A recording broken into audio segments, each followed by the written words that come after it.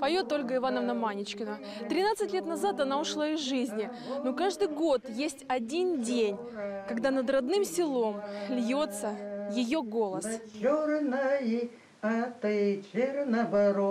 Это традиция фестиваля – включать старые записи фольклорного ансамбля и вспоминать первый состав коллектива. Тех, кто по крупицам собирал местные напевы, кто снова надел старинные костюмы и сделал их, как сейчас модно говорить, трендом. Правда, тогда и слова такого не было. заинтересовала всех наша фольклорная традиция. Она у нас давно, 300 лет. Вот наш костюм 300 лет. Это Панева.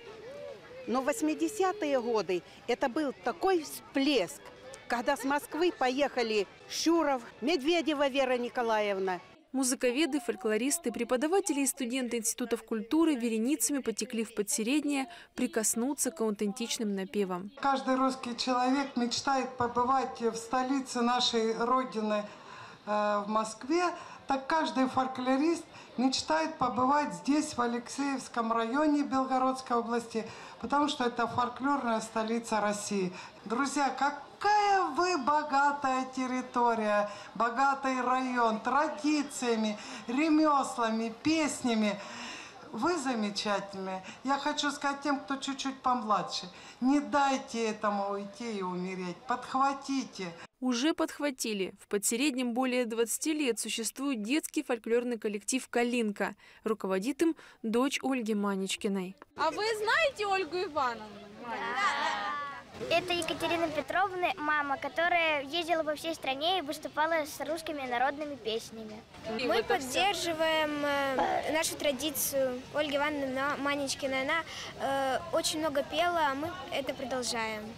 Да у наших и воротів, у нових, у широких, і ох, і льолі, льолі, а лілей, льолі, льолі. Еще одна добрая традиция фестиваля – большое шествие. Все участники, любители, исполнители фольклора идут по главной улице села с песнями, конечно, к памятнику Пивунье. Году исполняется 70 лет.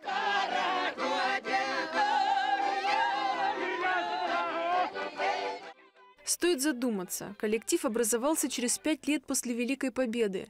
Песня на этой земле исполняется и в горе, и в радости. Наверное, поэтому традиции тут и сохранены, причем не только песенные. Кто вас научил? Бабушка из запряхи, а я запряху. Насучу жучков, она ругалась. Ну, а все прощала. Что значит Жучков на А, а вот так вот жукалась пряжа, вот жукалась. Это круто называлось.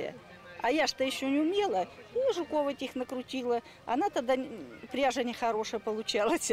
Вот Вообще это ж. трудно это? Возможно этому научиться сейчас? О, да, пожалуйста, садись, я покажу. А теперь руками. Подождите. Это как в швейной машинке, только Да, почему-то да. я не А могу. Ой, вот это жук, наверное, получился. Ну, ну, ладно. Это вот это, это тепло рук человеческих. Вот вся ниточка, это, это вот каждый сантиметр, миллиметр, это касалась ваша Да, рука. да, да. Словно эта шерстяная нить, не рвется связь с историей на Алексеевской земле. Подлинные наряды, говор, песни, картинки из жизни. Там что, перина? Да. Настоящая. Настоящая. А где взяли? Серьезно. Достали от бабушек.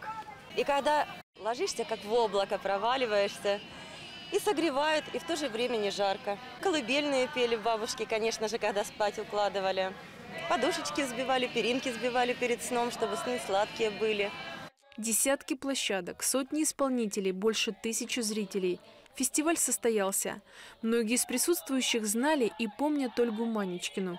Их воспоминания о встрече с ней – тема еще ни одного сюжета. Хотя есть во всех рассказах одно общее. Когда льется над селом голос Манечкиной, все вспоминают ее доброту, открытость и любовь к песне.